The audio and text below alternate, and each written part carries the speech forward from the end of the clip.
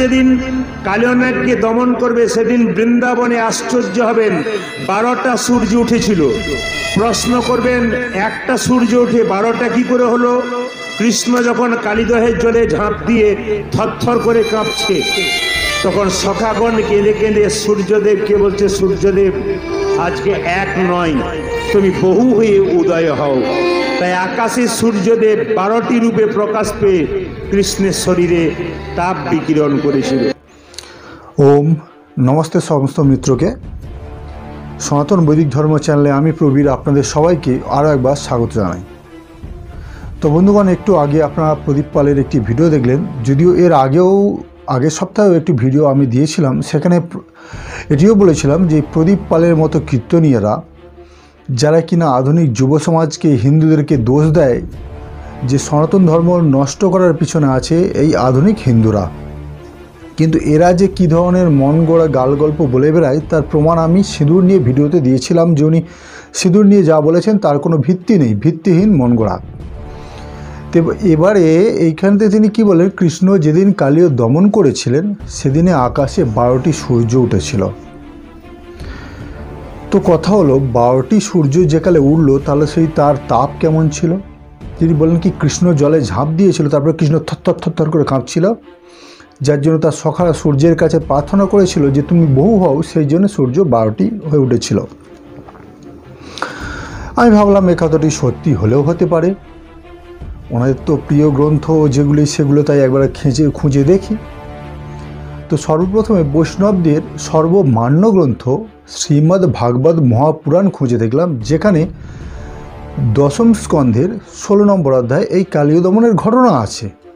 কিন্তু সেখানে কোথাও সখারা সূর্যদেবের কাছে এমন প্রার্থনাও করেননি, আর সূর্যদেব কোথাও বারোটা হয়ে উঠেছেন, এরকম কোনো ঘটনাও পাওয়া যায়নি। তা ভাবলাম হতেই পারে অন্য গ্রন্থে থাকতেই পারে।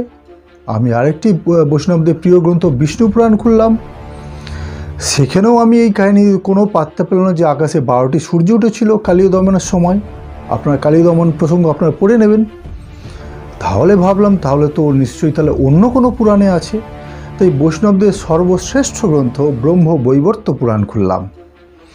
তো সেখানেও কিনা এরকম কোনো ঘটনা উল্লেখ নেই যে কৃষ্ণ যেদিন কালীয় দমন করেছিলেন, সেদিন আকাশে বারোটা সূর্য উঠেছিল। এদের মতে ব্যাসদেবী পুরাণগুলো রচনা করেছে। তাহলে ব্যাসদেব কি লিখতে ভুলে গিয়েছিলেন কাহিনীগুলো? এবার এখানে প্রশ্ন আসে, ব্যাসদেব যদি এই কাহিনীগুলো লিখতে ভুলে যান, তাহলে এরা এই কাহিনীগুলো জানলো কোথা থেকে? হ্যাঁ কাহিনীগুলো জানলো কোথা থেকে? এরা ব্যাসদেবকে টেলিফোন করেছিলেন। যে হ্যাঁ মনি যে এই এই কাহিনীগুলো আপনি আপনি অনেক কাহিনী তো মিস করেছেন, আমাদেরকে কানে কানে বলে দিন। তো শ্রীমান মহর্ষি বেদব্যাস এদের কানে কানে বলে দিয়েছিলেন। যে এই কাহিনিগুলো আমি লিখতে ভুলে গেছি, আপনার নতুন করে লিখুন, নতুন করে আপনার প্রচার করুন। অথবা এটাও হতে পারে, যারা স্বপ্নাদেশ পেয়েছিল, ভগবান শ্রীকৃষ্ণ এদের স্বপ্নে দেখা দিয়ে বলেছিল যে, আমি এই লীলাগুলো করেছিলাম, যেগুলো ব্যাসদেব লিখতে ভুলে গিয়েছিলেন আমার এই অংশ অবতার ব্যাসদেব লিখতে ভুলে গিয়েছিলেন, তোমরা এই কাহিনিগুলি প্রচার করো। কেন কি আঠেরোটা পুরাণ, আঠেরোটা উপপুরাণের মধ্যে এমন কাহিনী পাওয়া যায় না। সেখানে তিনি এমন কাহিনী ফরাত করে পেয়ে গেলেন। তাহলে কি বুঝতে হবে? ব্যাসদেব যে জিনিস লিখে যাননি, এনাদের মতে ব্যাসদেব তো পুরাণ লিখেছেন, ব্যাসদেবও লিখে যাননি। মানে ব্যাসদেবের ছাড়াও এনারা বড় পণ্ডিত। ব্যাসদেবের ছাড়াও এরা এত বড় পণ্ডিত যে এদেরকে ভগবান স্বপ্নাদেশ দিয়ে বলেছে, এই কাহিনীগুলো, লীলাগুলো ঘটেছিল, ব্যাসদেব বলতে ভুলে গিয়েছিলেন, তাই আমি আপনাদের সামনে শোনাচ্ছি। তোমাদেরকে শোনালাম, হে বৎস, তোমরা এই কাহিনীগুলি প্রচার করো। সেই জন্যই এরা কি করে? না, এই সমস্ত কাহিনী প্রচার করে। যেমনভাবে আগের দিনে সিঁদুরের কাহিনী প্রচার করেছিল, তেমনভাবে এই যে বারোটি সূর্য ওঠার অবাস্তব ঘটনা, ভাবুন তো, একসঙ্গে সূর্যর, ঈশ্বর সূর্যকে বানিয়েছেন, সে তার নিয়মে চলবে। অর্থাৎ প্রকৃতি যাকে বলা হয়, প্রকৃতির নিয়মেই সূর্য, সূর্যের ওঠানামা। মূলত কত হলো, সূর্য তো পৃথিবী ঘোরার ফলেই মনে হয় সূর্য উদয় আর অস্ত যায়। মূলত এটাই হলো প্রকৃতির নিয়ম। সূর্য পশ্চিম থেকে পূর্বে ঘোরে। সেই জন্য এরকম মনে হয়।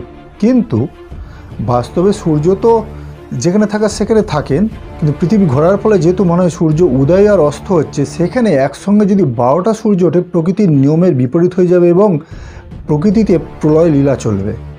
অতএব এদের যে এই সমস্ত হাস্যকর কাহিনী এরা কোথায় পায় সেটা ভগবানই জানে। এবং সামনে আপমর অবস্থাকে থাকে হিন্দু যারা কিনা কোনোদিনও গ্রন্থ খুলে দেখে না, শাস্ত্র খুলে দেখে না, তাদেরকে টুপি পরানোর কাজ এরা বেশ ভালোভাবে করে। এবার হিন্দুরা কি হা কাহিনী শুনি কী না অপূর্ব লীলা, কাহিনী শুনলাম, যার কোনো মাথা মুন্ডু নেই, এটা তারা আর ভেবে পায় না। তো, প্রদীপ পালকে আমি জিজ্ঞাসা করতে চাই, প্রদীপবাবু, এই সমস্ত কাহিনী সত্যিই কি আপনাদের কি মানে ভগবান শ্রীকৃষ্ণ স্বপ্নাদেশ দিয়ে বলেছেন, নাকি ব্যাসদেব আপনাদেরকে ফোন করে বলেছিলেন? আমি এরকম কথা আপনাদের সম্পর্কে বলতে চাই না, কারণ আপনারা বাংলার স্বনামধন্য কীর্তনিয়া, যাদেরকে লক্ষ লক্ষ মানুষ আপনাদেরকে অনুসরণ করেন, আপনাদেরকে বিশ্বাস করেন, তাদের সেই বিশ্বাসের সুযোগ নিয়ে, তাদের সেই ধর্মের সুযোগ নিয়ে, আপনারা তাদের সঙ্গে এরকম নানা রকম গাল গল্প, মন গড়া বলে আর কতদিন ছিনিমিনি খেলবেন? আপনাদের এই সমস্ত পাগলামি এবার একটু বন্ধ করুন।